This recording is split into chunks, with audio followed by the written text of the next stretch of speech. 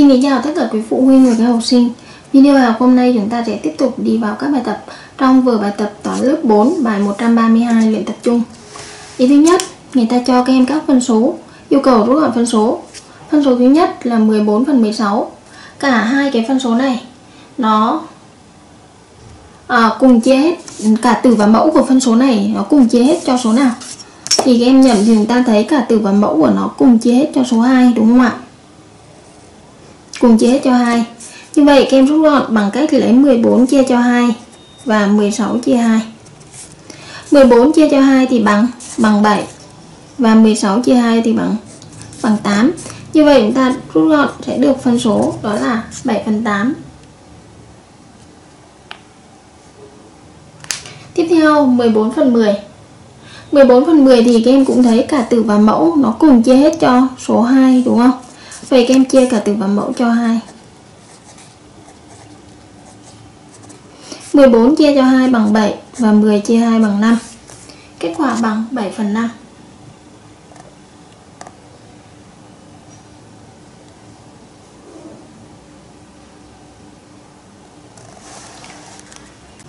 Tiếp theo, ý B viết các phân số đều có mẫu là 40 và bằng các cái phân số đã cho. Tức là các em đưa các cái phân số đã cho này này làm sao để đưa về mẫu là 40 đúng không? Như vậy ở đây mẫu đang là 8 này. 8 muốn đưa uh, đến 40 thì các em phải lấy 8 nhân với 8 nhân với 5 để nó thành 40 đúng không? Như vậy mẫu nhân với bao nhiêu thì tự phải nhân với bấy nhiêu. Như vậy các em lấy 8 các em nhân 5 trên tử là 7 nhân với 5 8 nhân 5 7 nhân với 5 thì bằng 35 8 nhân 5 bằng 40 Vậy kết quả của ta sẽ bằng 35 phần 40 19 phần 40 thì mẫu nó đã là 40 rồi thì các em giữ nguyên thôi. Các em không cần phải đi quy đồng nữa. Được chưa? Tiếp theo. Tiếp theo là cái phân số 14 phần 16 này. 14 phần 16 Thì để đưa về mẫu là 40 nhiều bạn thắc mắc Sẽ bảo là À số 40 này nó không chia hết cho 16 chẳng hạn, Thì nhiều bạn bảo không quy đồng được nhưng mà các em nhìn ở phía trên này, Theo câu A, Ta có 14 phần 16 đây. 14 phần 16 theo câu A, chúng ta đã rút gọn bằng 7 phần 8 thôi Đúng chưa? Rút gọn bằng 7 phần 8 Như vậy các em sẽ viết đây là phân số này bằng phân số 7 phần 8 nữa này. Được chưa? Rồi 7 phần 8 sau đó các em đưa cái phân số 7 phần 8 đưa về mẫu là 40 Đúng không? 40 các em chia cho 8 thì bằng 5 Như vậy, dưới mẫu phải nhân với 5 thì sẽ bằng 40 dưới mẫu nhân 5 thì tên tử cũng nhân 5 7 x 5 bằng 35 8 x 5 40 Kết quả chúng ta sẽ bằng 35 phần 40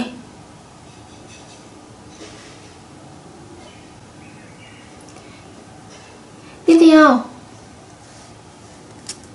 7 phần 5 Bạn nào chưa xong thì ở đây hãy dừng lại làm cho xong nhé Mẫu đang là 5 này các em muốn đưa về mẫu là 40 thì các em phải lấy 5 các em nhân 8 đúng không? 5 này nhân 8 lên để bằng 40 Dưới mẫu nhân 8 thì trên tử các em cũng nhân 8 Ta có 7 nhân với 8 thì bằng 56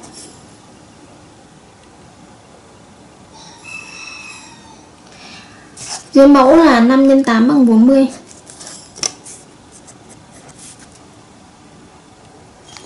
Sang bên này 14 phần 10 14 phần 10 thì các em không cần phải đi rút gọn, Vì các em thấy là gì? 40 nó chia hết cho 10 này.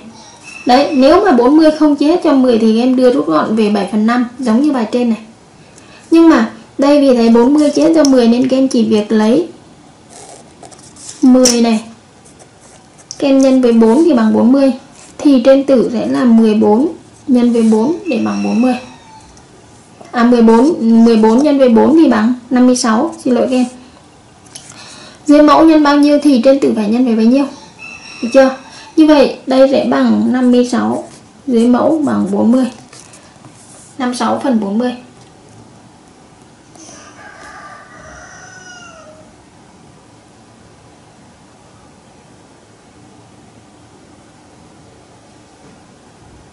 Tiếp theo trong các phân số trên những phân số nào bằng nhau? Phân số bằng nhau, kem thấy này, phân số 7 phần 8 này thì nó sẽ bằng với phân số 14 phần 16 đây 14 phần 16 bằng 7 phần 8 đấy phân số à, 7 phần 5 thì bằng phân số 14 phần 10 đây 14 phần 10 bằng 7 phần 5 ta có hai cặp phân số bằng nhau đó là 7 phần 8 7 phần 8 thì sẽ bằng 14 phần 16 đây là cặp thứ nhất. Cặp thứ hai là 7 phần 5 thì sẽ bằng 14 phần 10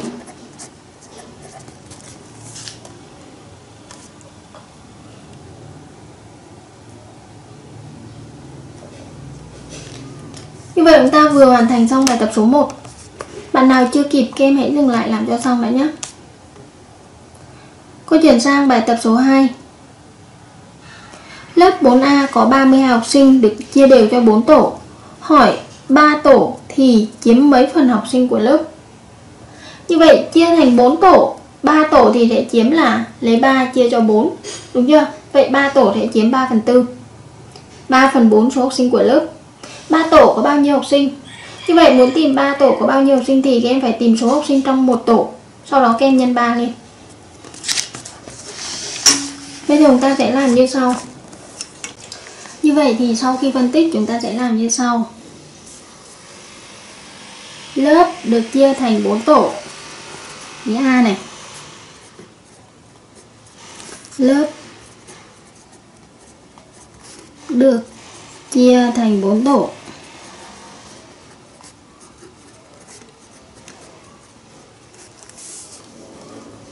Vậy 3 tổ thì sẽ chiếm 3 phần tư số học sinh của lớp. Vậy 3 tổ sẽ chiếm 3 phần tư số học sinh của lớp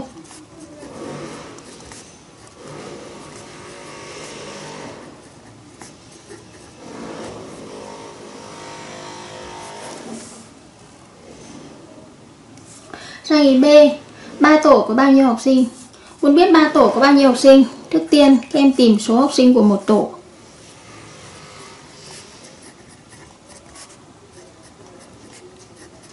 Số học sinh của một tổ.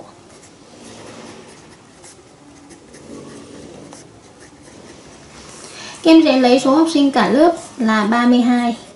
Các em chia cho 4 tổ để xem một tổ có bao nhiêu. Như vậy một tổ sẽ có 8 học sinh.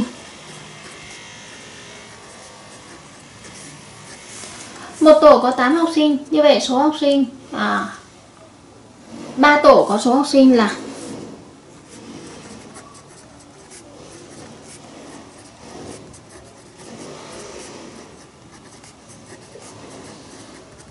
Các em sẽ lấy số học sinh của một tổ Các em nhân với 3 lên. Số học sinh một tổ 8 nhân 3 bằng 24 học sinh. Như vậy 3 tổ sẽ có 24 học sinh số.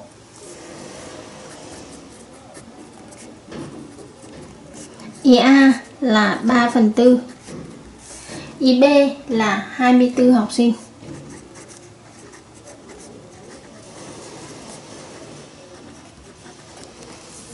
Như vậy là chúng ta đã vừa hoàn thành xong bài tập số 2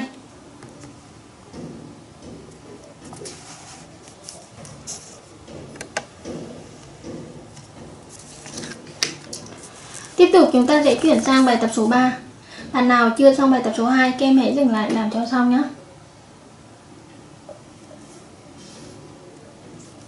Bài tập số 3 như sau. Một tàu vũ trụ à, chở 20 tấn hàng lên trạm vũ trụ. 3 phần 5 khối lượng hàng là thiết bị thay thế. Hỏi tàu vũ trụ đó chở được bao nhiêu thiết bị thay thế? Như vậy đây là 20 tấn hàng này. 20 tấn hàng thì à, nó sẽ được chia đều cho 5 phần đúng không ạ? 20 tấn hàng chia đều 5 phần. 1 2 3 4 5 đấy. Đây là tất cả 5 phần này là 20 tấn. Cô đang nháp đây nhá.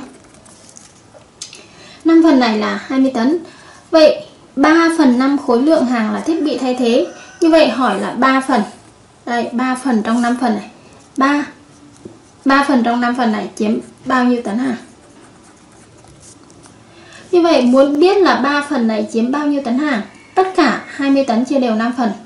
Và hàng thay thế chiếm 3 phần. Như vậy có phải 3 phần 5 không? Đấy như vậy thì các em sẽ tìm là gì? À um, cứ một phần. Giá trị của một phần sẽ là hoặc là một phần nó chiếm cái giá trị bằng bao nhiêu? Bằng cách kem lấy 20 kem chia ra 5 thì sẽ bằng 4 phần. Được chưa? Sau đó kem sẽ tìm là à, số tấn hàng của thiết bị thay thế thì kem lấy giá trị 1 phần kem nhân 3 lên. Đấy sau khi phân tích chúng ta sẽ đi tìm giá trị của một phần.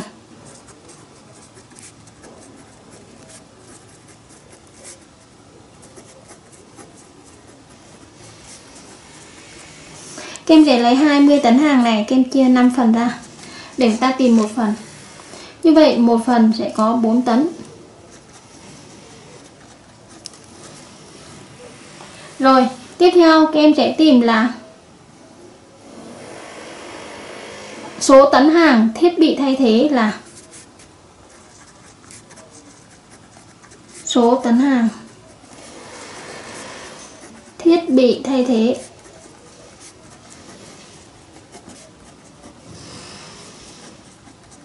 Kem sẽ lấy giá trị của một một phần này kem nhân với 3 phần lên. Tức là kem lấy 4 kem nhân 3. Như vậy thiết bị thiết bị thay thế à, nó có khối lượng ở đây sẽ là bằng 12 tấn. Đáp số 12 tấn.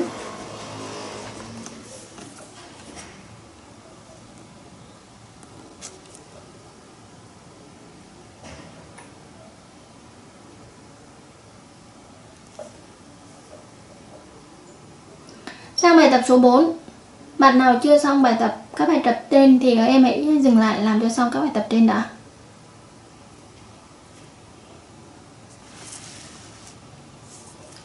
Có một kho gạo.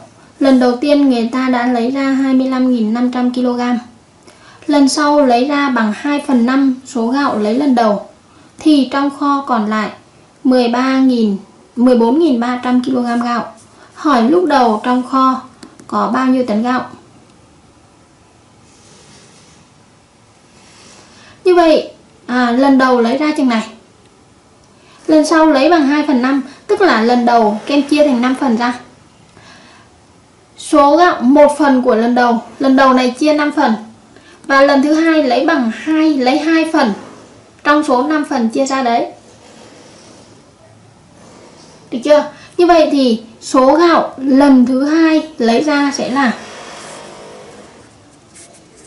số gạo lần thứ hai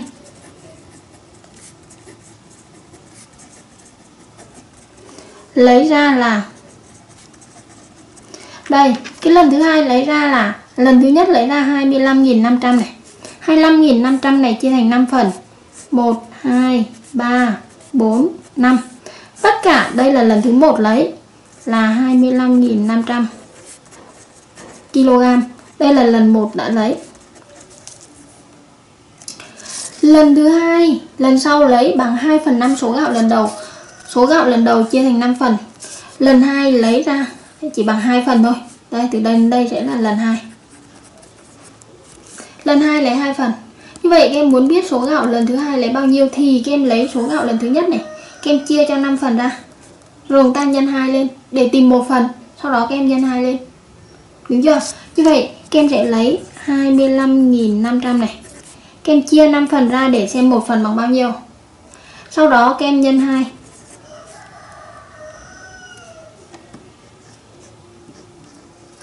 25.500 kem chia cho 5 thì sẽ bằng là 5.100 5.100 nhân với 2 thì sẽ bằng 10.200 như vậy lần sau lần thứ hai lấy ra sẽ là 10.200 kg lần thứ nhất lấy chừng này lần thứ hai lấy ra chừng này còn lại là chừng này. Muốn biết số gạo ban đầu thì các em lấy số gạo lần thứ nhất lấy ra cộng với số gạo lần sau cộng với số gạo ban đầu thì à, cộng với số gạo còn lại thì nó sẽ ra được cái số gạo trong kho lúc đầu.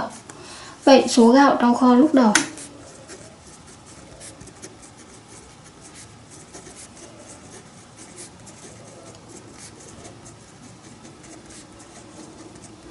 Kem sẽ lấy số gạo. Lấy ra lần thứ nhất này. Cộng với số gạo, lấy ra lần thứ hai này. Kem cộng với cái số gạo còn lại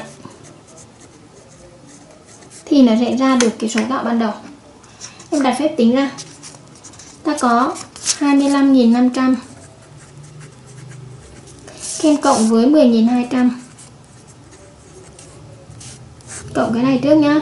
Không này không này. 5 cộng 2 bằng 7 này. 5 này. 3.000 35.700 35.700 cộng với 14.300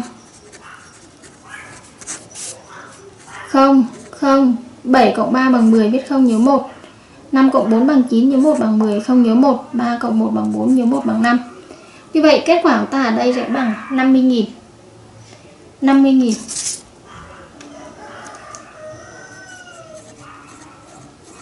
đơn vị là kg.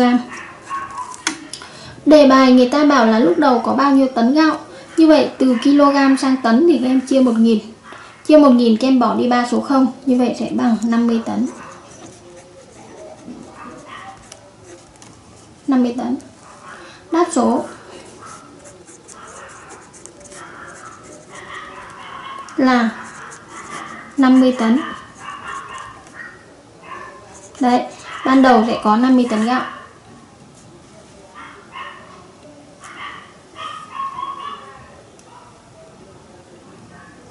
Như thế trên đây cô và các em đã vừa hoàn thành xong toàn bộ các bài tập của bài 132 trong vở bài tập toán lớp 4.